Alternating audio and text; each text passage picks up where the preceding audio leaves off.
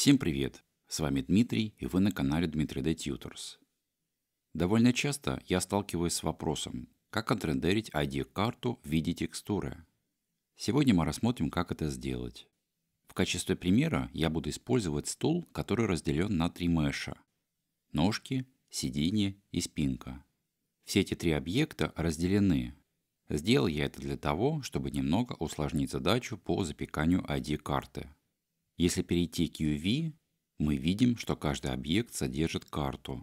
Разница между ними лишь в том, что эти объекты разделены. Вот так выглядит карта для ножек, сиденья и спинки. Все три объекта образуют единую развертку. Чтобы отобразить все UV-координаты, я выделю все объекты и нажму Tab. Развертку, которую вы сейчас видите, мы будем использовать для запекания ID. Переходим к вкладке Shading. Окна я настроил следующим образом. Окно настроек материалов. Здесь 3D Viewport. А вот здесь я поменяю на UV Editor, чтобы видеть развертку и текстуру под ней.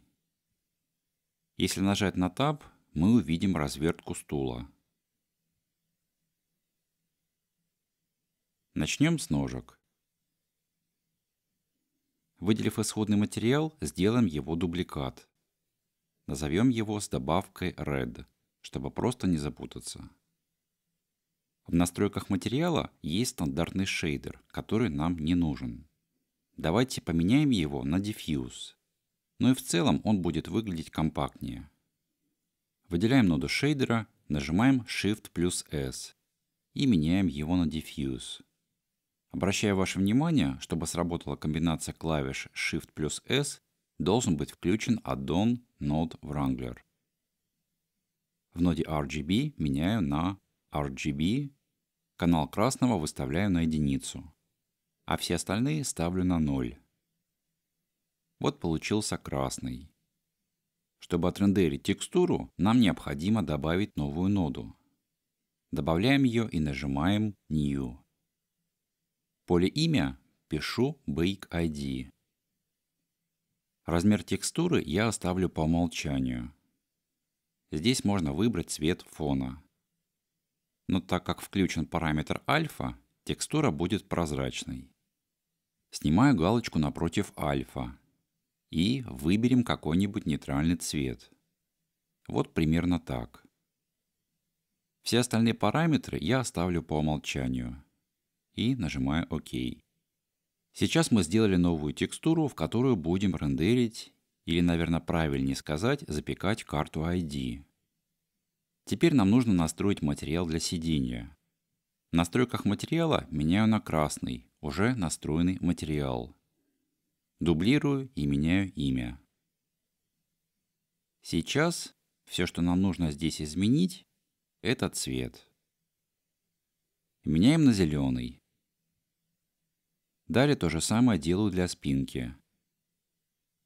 Меняю цвет на синий. В итоге, что у нас получилось? Ножки содержат красный цвет, сиденье зеленый и спинка синий цвет. Каждый из этих материалов содержит текстуру Bake ID. Чтобы сохранить текстуру, от случайного удаления включаем Fake User. Если выбрать другой материал, Видно, что эта настройка применяется везде. Для того, чтобы запечь текстуру, выделяем все части стула, нажимаем Tab, чтобы убедиться, что с UV все в порядке. Далее переходим в настройки рендера. Вкладку Color Management я закрою. Она мне сейчас не потребуется. Пожалуй, самое главное, что нужно изменить в настройках, это выставить вместо Eevee Cycles. Это необходимо сделать, так как Иви не поддерживает запекание. Сразу меняем способ обработки с процессора на видеокарту. То есть выставляем GPU. Если сместиться чуть ниже, мы увидим раздел Bake. В разделе Bake Type поменяем на Diffuse. Чтобы понять, что именно нужно запекать, я запущу Cycles. В превью видны все материалы.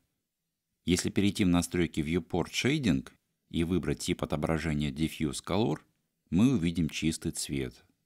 Именно его нам нужно запечь. Поэтому в настройках снимаем галочки напротив Direct и Indirect. Оставляем только Color. В этом случае запекаться будет только цвет материала. В настройках рендера, вкладке Render, поле Samples я выставлю значение 128. Чем больше это значение, тем дольше будет запекаться текстура. Снова переходим в режим Solid. Выделяю все объекты. В разделе Bake обязательно проверяем, какой тип запекания выставлен и нажимаем кнопку Bake. Спустя некоторое время в UV Editor мы видим полученную цветную текстуру. Если нажать Tab, мы увидим, что напротив каждого островка есть свой цвет – зеленый, красный и синий. Но есть одна проблема. Обратите внимание на то, что сейчас границы цветов перекрывают соседние UV-острова. Чтобы это исправить, в разделе Margin меняем параметр в сторону уменьшения, например, 10. Давайте попробуем еще раз запечь текстуру. Да, сейчас текстура не так сильно перекрывает другой островок, но все же этого недостаточно. Пробуем значение, например, 1. Нажимаем еще раз Bake. Вот сейчас мы получили оптимальный вариант. Теперь для того, чтобы сохранить полученную текстуру, переходим из UV Editor в Image Editor. В настройках в разделе Image нажимаем Save As. Далее сохраняем в любой формат JPG или PNG. Вообще-то, как видите, все достаточно просто. Теперь рассмотрим, что будет происходить, если запечь текстуру с отдельно выбранными объектами. Давайте просто выберем спинку стула и попробуем запечь текстуру. После окончания виден материал с синим цветом. Если выбрать только ножки, то в карту ID будет запечен только материал с красным цветом.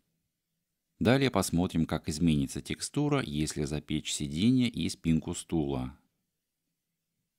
Сейчас на текстуре видны синий и зеленый цвета. Опять же, если выделить все объекты, то в карте ID мы увидим все цвета. Теперь рассмотрим случай, когда вся геометрия находится в одном объекте. Чтобы объединить все три объекта в один, нажимаем Ctrl плюс J. В окне сцены видно, что теперь у нас один объект, в котором содержится вся геометрия с разверткой. Если я снова запеку текстуру, то результат будет таким же, как и в предыдущий раз. Теперь несколько слов о настройке рендера. Параметр Samples напрямую влияет на скорость запекания. Чем больше это значение, тем дольше будет запекаться текстура. Давайте попробуем запечь с значением 8. Не нужно использовать высокие значения, так как по сути это один цвет, и на качество это не влияет. Пробуем еще раз запечь. Скорость запекания заметно возросла. Если нажать правой кнопкой мыши и выбрать «Вернуть значение по умолчанию», то просто попробуем еще раз запечь текстуру. Обратите внимание, вот здесь виден прогресс. Я отменю запекание и вернусь к значению, например, 4. На этом все. Спасибо, что досмотрели этот урок до конца. Если у вас остались вопросы, пишите в комментариях видео, телеграм-канале или чате Discord. Подписывайтесь на канал. Удачи. Пока.